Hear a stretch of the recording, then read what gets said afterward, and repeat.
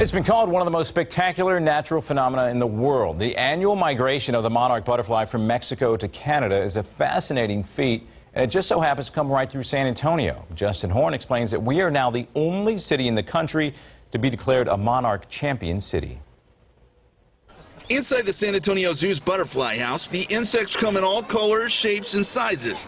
But today it's the iconic monarch with its black and orange markings that everyone's here to see. It's a native species that comes right through San Antonio, and a lot of people don't know that the, the monarch butterflies are disappearing off of our planet. Which, as it turns out, gives San Antonio great responsibility. It's the largest city in the path of their migration, a concept not lost on Mayor Ivy Taylor. We're doing everything we can in order to preserve the uh, numbers and increase the numbers of monarch butterflies. Last year, Taylor signed off to make San Antonio the first monarch champion city in the nation.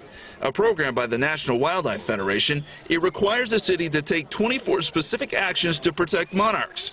One example. The city is doing efforts where they're not going to mow fields as often or along highways and help those, those plants that the monarchs need thrive. Education's on that list too, which brings us to today.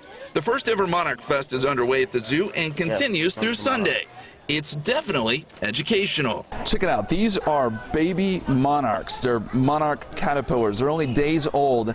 In about a week, they'll be full-fledged monarch butterflies.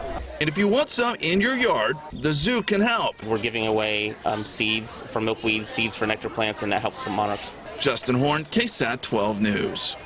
On a side note, Mayor Taylor unveiled her Fiesta Medal this morning at Monarch Fest, and fittingly, the medal's centerpiece is a monarch butterfly.